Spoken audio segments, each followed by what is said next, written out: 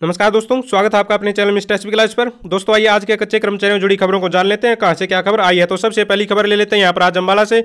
यहाँ पर कोरोना योद्धा दोस्तों पहुँचे थे गृह मंत्री यानी कि स्वास्थ्य मंत्री अनिल विज जी के मकान का घेराव करने के लिए, लेकिन पुलिस की मुस्तैदी थी वहाँ पर तो पुलिस ने वहाँ पर इन सभी को एक जगह पर इकट्ठा किया।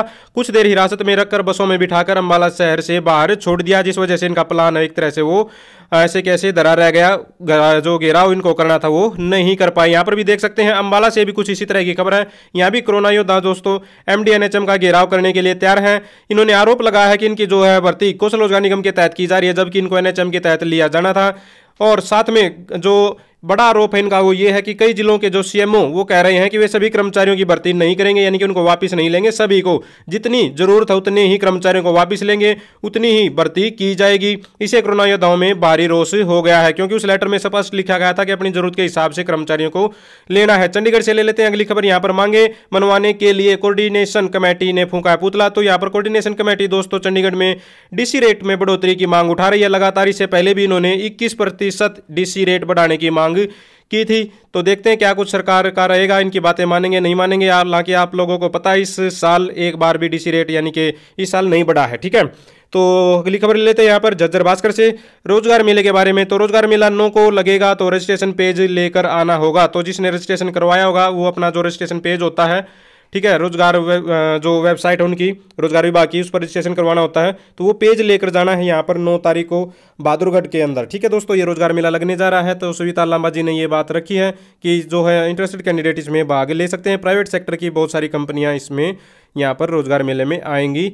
नेक्स्ट ले लेते हैं यहाँ पर करनाल से। 9 जून को एनएचएम कर्मचारी एक दिन के सांकेतिक हड़ताल पर रहेंगे। तो एनएचएम कर्मचारी दोस्तों, लगातार इनमें जो है जो आक्रोश है एक तरह से बढ़ता जा रहा है। तो अम्बाड़ा में भी दोस्तों कुछ इसी तरह की खबर आप लोगों को देखने को मिल रही है। तो नौ तारीख का इन्होंने अपना जो है आंदोलन करने का यहाँ पर फिक्स कर ली है डेट।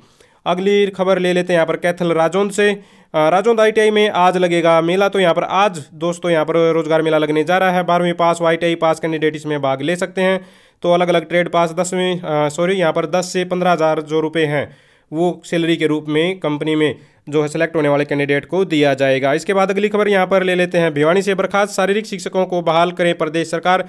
तो इन्होंने आरोप लगाया कि प्रदेश सरकार यानी कि मुख्यमंत्री जी ने इनको आश्वासन दिया था कि इनको किसी भी तरह से कौशल रोज़गार निगम के तहत मान लीजिए, इनको वापस लिया जाएगा। इनका कोई ना कोई समाधान किया जाएगा, लेकिन अभी तक समाधान नहीं हुआ है। सात सौ दिन भी इनका धरना जारी है। अगली खबर यहाँ पर ले लेते हैं सिरसा। भास्कर से हैफेड के अनुबंधित कर्मचारी संघ के कर्मचारी समस्याओं को लेकर आज डीएम से मिलेंगे। तो यहाँ पर हैफेड के कर्मचारी भी लगातार परेशान हैं। हैफेड के अनुबंधित कर्मचारी संघ की एक यहाँ पर आवश्यक बैठक हुई है। बैठक में दोस्तों जिला प्रधान जी ने अध्यक्षता की है। सतीश कुमार जी ने यहाँ पर जो है इन जिन्होंने डिस्कस किया है और फिक्स किया है कि एमडी से यहाँ पर अपनी समस्याओं को, डीएम से यहाँ पर अपनी समस्याओं को ये लेकर मिलेंगे। ठीक है तो ये थे सारे की सारी आज के कच्चे कर्मचारियों जुड़ी खबरें। अगर आप भी चाहते हैं हरियाणा में एजुकेशन से रिलेटेड कच्चे कर्मचारियों जुड़ी खबरें समय पर पाना तो चैनल को ज़रूर सब्सक्राइब करें, वीडियो को लाइक करें, दोस्तों के साथ शेयर करें। Thank you very much